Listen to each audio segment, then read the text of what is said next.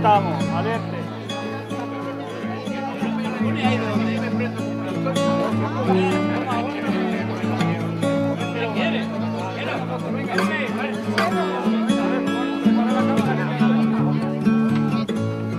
Venga, ahí, ahí, ahí, ahí.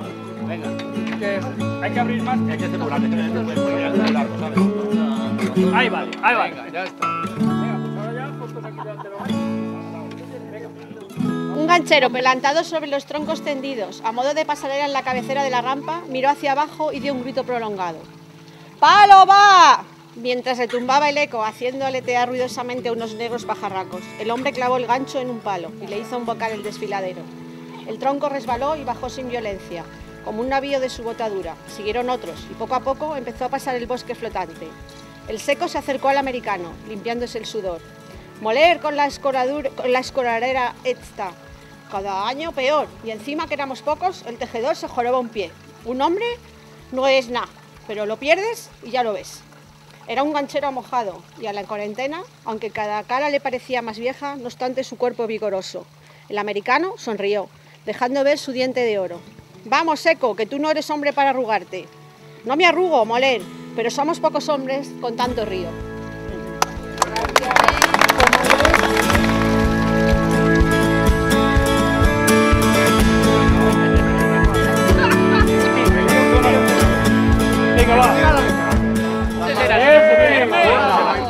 Una, dos Y tres, va. Las maderadas se vienen, las maderadas se van, y nosotros nos iremos y no volveremos más. Y sin ensayar, ¿eh? No, las, tienen más de 100 años las albarcas.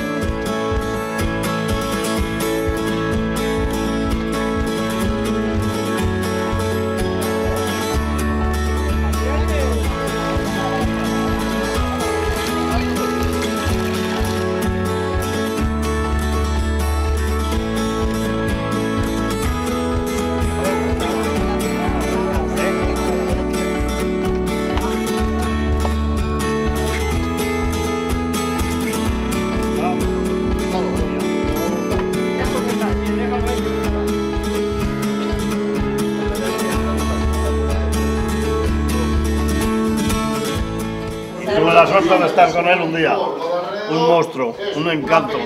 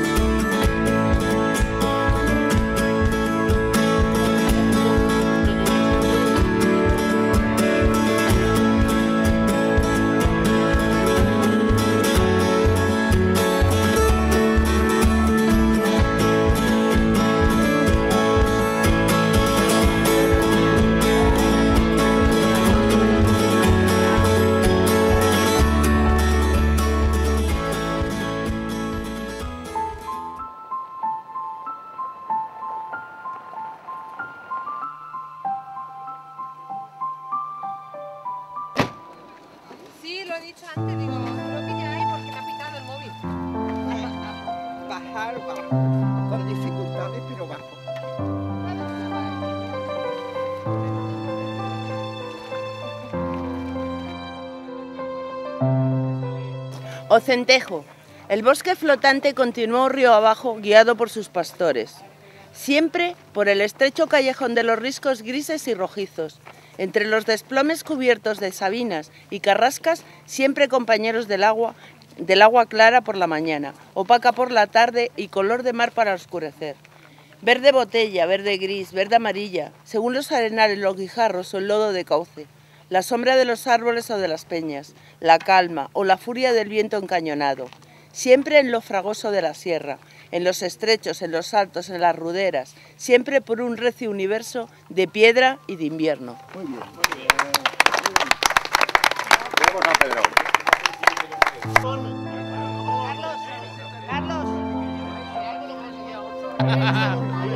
A continuación vamos a hacer una pequeña demostración de lo que nosotros hacemos como fiesta ganchera, que en su día fue eh, la bajada de los troncos, las grandes maderadas. Eh, tenemos los troncos aquí en la cambra, en la orilla del río, ahora los vamos a preparar, los echamos abajo al agua, haremos un par de balsas para ayudarnos, cosa que los gancheros no hacían, porque claro, como llevamos tan pocos troncos, pues si no nos bajamos. Los bajaremos como 500, 600 metros luego los volvemos a sacar. Todo esto es una pequeña demostración, ya digo, de lo que antiguamente era el oficio de los gancheros. Muchas gracias. Ten en cuenta que se bajaba la madera desde aquí hasta Aranjuez. Hasta la entrada del Palacio Real de Aranjuez se bajaba. Que todavía queda un rastro donde está ahora el Club Náutico de Aranjuez, que tienen club náutico. Allí hay un, allí hay un arrastradero para sacar la madera todavía.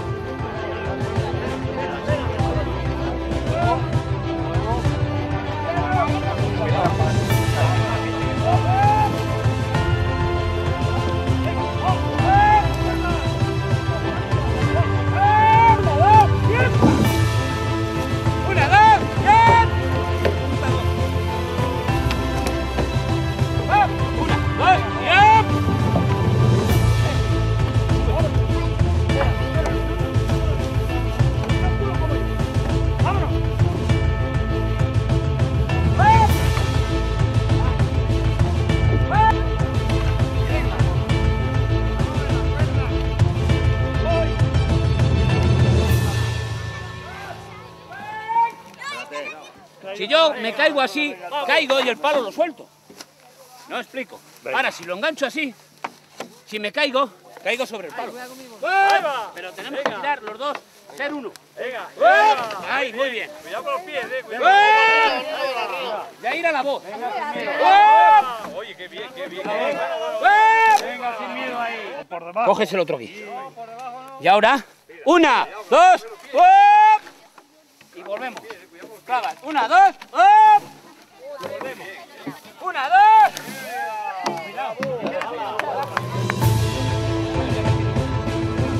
¿Por qué, Hermes? ¿Por qué no hacemos todo una base? No, no, no. Eh, cuidado que te toda la cuerda.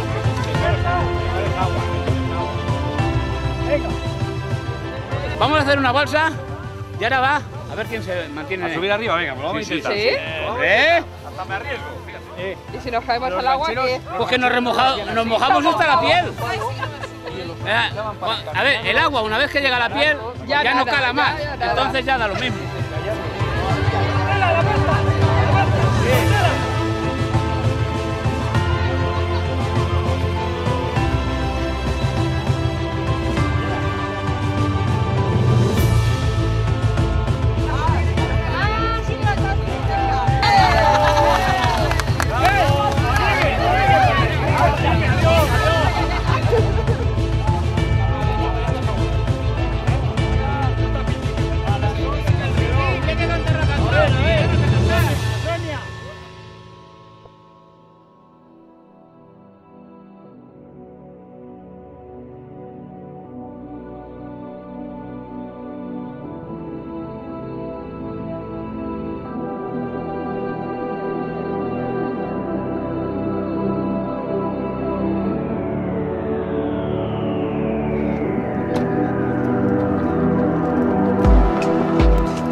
Vamos a ver el salto de Poveda, ¿vale? Es un salto de agua natural, aunque parezca que está hecho artificialmente.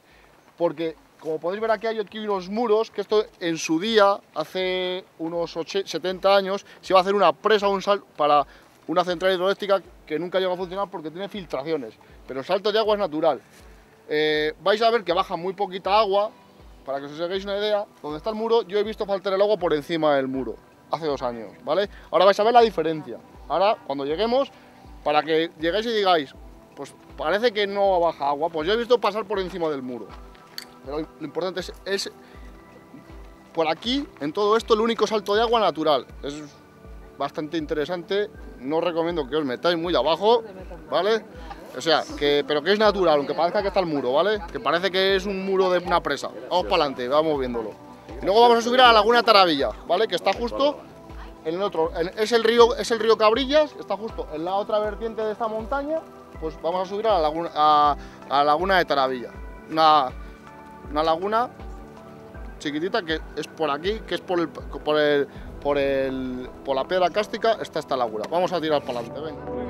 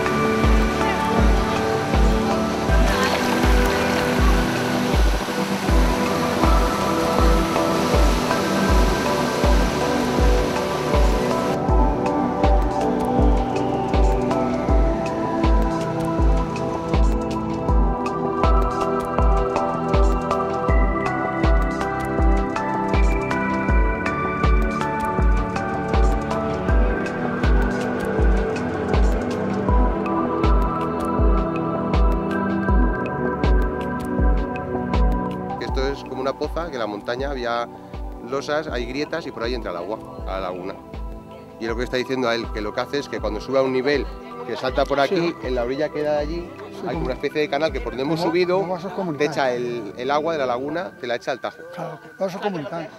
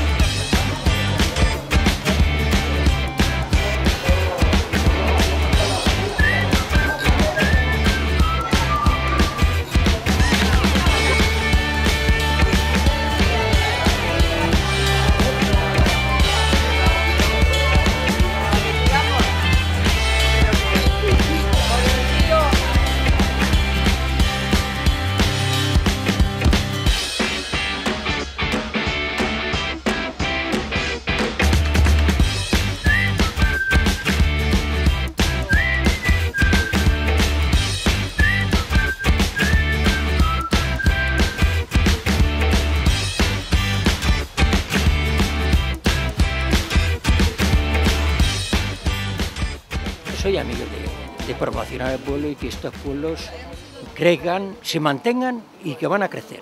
Van a crecer en plan de turismo.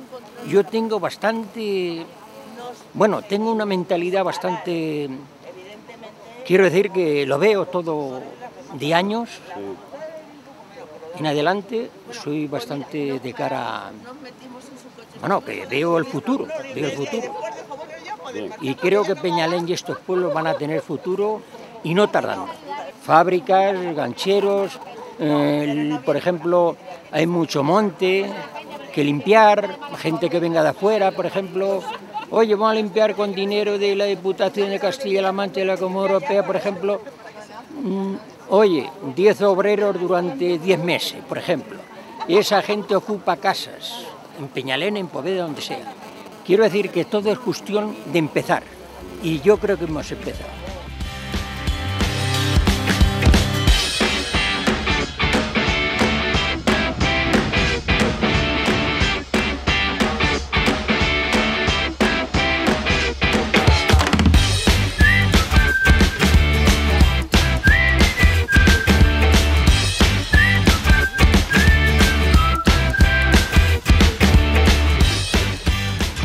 Al río, los chopos competían hacia lo alto con los riscos. Paisaje muy agreste, pero sin la hostilidad de la Sierra Fría. Montes satisfechos de su estatura y su tensión, pero generosos como los fuertes sin malicia. Bonito.